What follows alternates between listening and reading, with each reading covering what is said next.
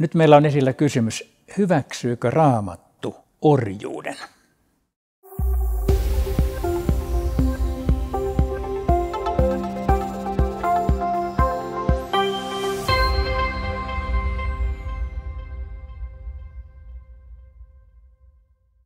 Tämä orjuuskysymys raamatuvalossa on pikkusen kenkkinen. Sen takia, että näyttäisi siltä, että raamattu hyväksyisi orjuuden, mutta tänä päivänä me emme tietenkään voi sitä hyväksyä, emmekä pitää sitä kristillisenä, ja, ja sehän on onneksi maailmasta pääasiassa jo saatukin pois juuritettua. Mutta miten tämä ristiriita selvitetään, kun raamatussa puhutaan orjista ikään kuin itsestään selvänä faktana, että sitä ei lähdetä sieltä niin kuin karsimaan pois? No se selittyy näin, että raamattu, sanotaan nyt, lähdetään uudesta testamentista, se ei aja mitään yhteiskunnallista ja poliittista ohjelmaa. Evankeliumi on syntynyt Uuden testamentin aikana, siis Rooman valtakunnassa, jossa aluksi juutalainen kansanosa ja sitten kristityt olivat pieni vähemmistö, ja joita aika pian myöskin vainottiin.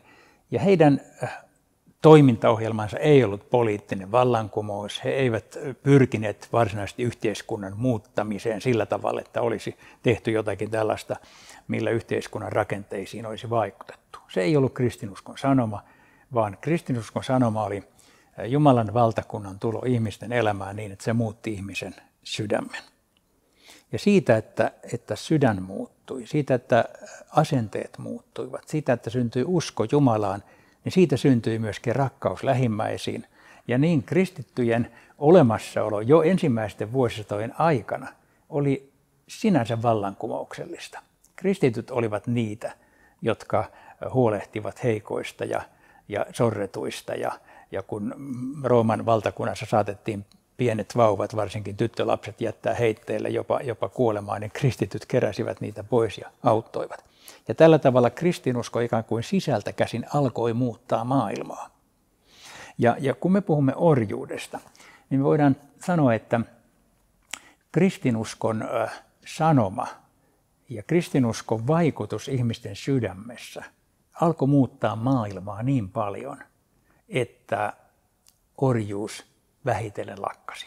Siinä kesti pitkä aika ja on muitakin syitä, eikä, eikä meillä kristityillä ole aina puhtaat paperit ollut myöhemmässäkään historiassa, mutta silti se on näin. Ja Raamatussa on yksi kirja Uudessa testamentissa, joka aika kiinnostavalla tavalla käsittelee tätä. Se on Paavalin kirje Filemonille.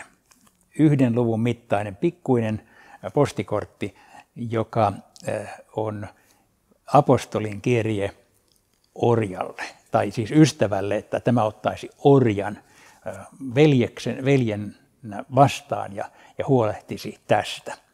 Ja, ja tämä Filemonin kirje on, siitä on joskus sanottu, että siinä soivat jo orjuuden kuolinkellot. Se on tietyssä mielessä viesti, että kristinuskon sanomassa kaikki ovat tasa-arvoisia, miehet ja naiset, orjat ja vapaat. Ja, ja tämä vähitellen löi läpi koko yhteiskunnassa niin, että nyt sitä pidetään kristillisen uskon kannaltakin täysin selvänä. Mutta että tällä tavalla me näemme, että raamatusta että nämä asiat menevät ikään kuin toisessa järjestyksessä kuin niitä kenties odottaisi.